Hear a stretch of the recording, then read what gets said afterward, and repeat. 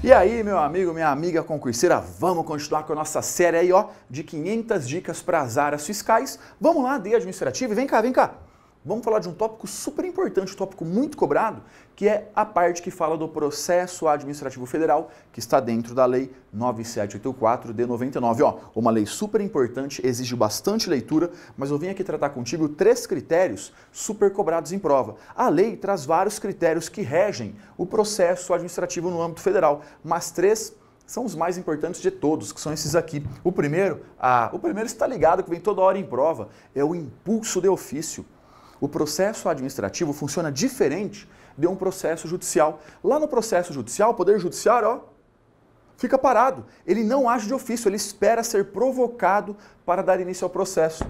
Aqui não. A própria administração pública vai lá e dá o passo inicial. A própria administração pública pode dar início ao processo administrativo. Ela tem uma atuação muito mais pesada do que um processo judicial porque ela mesma vai produzir provas, ela mesma vai fazer toda essa parte de movimentar o processo, claro, sem prejuízo da manifestação necessária das partes. Mas o ponto mais relevante é esse, ó. O processo pode ser iniciado pela própria administração. A parte também pode requerer o início do processo, mas o interessante é isso aqui. A própria administração pode dar início a esse processo. Segundo ponto relevante é a proibição de cobrança de despesas processuais. Não existe condenação em despesas processuais aqui em um processo administrativo. Mas toma cuidado.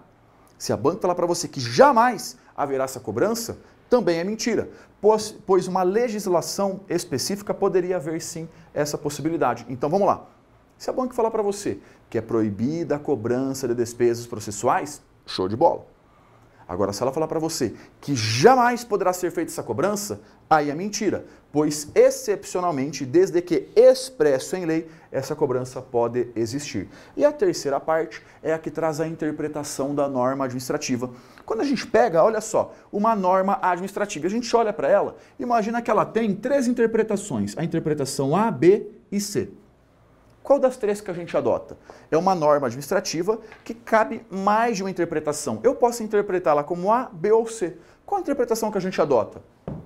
A que mais atenda ao fim público. Vamos imaginar o seguinte, que a interpretação A é a que mais atende ao fim público. Pronto, nós iremos adotar a interpretação A.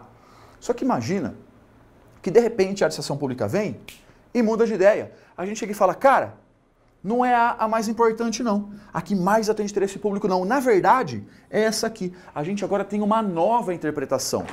Isso aqui vale daqui para frente. Isso aqui não se aplica a situações passadas. Não existe interpretação retroativa. A interpretação retroativa é vedada. Então, isso aqui é feito daqui para frente. Então, vamos lá. Quando a banca fala para a gente de interpretação de norma administrativa, a gente sempre faz uma interpretação de forma a melhor alcançar o interesse público. Show de bola! Só que se falar para você que isso aqui alcança situações passadas, que tem uma aplicação retroativa, mentira. A partir do momento que ela muda de interpretação, aquilo vale dali para frente. É tipo assim, ó, olha uma linhazinha do tempo, ó. Olha uma linhazinha do tempo. O que, que a gente viu? Que primeiro nós estávamos adotando a interpretação A. Beleza. Aí, em determinado momento, a gente mudou e começa a aplicar a interpretação C. Isso aqui é válido daqui para frente. Ele não se aplica a situações passadas. A Lei 974 veda a interpretação retroativa da norma administrativa. Fica de olho que esses três pontos são muito cobrados. Principalmente essa parte aqui do impulso de ofício, porque isso aqui está em vários momentos da lei.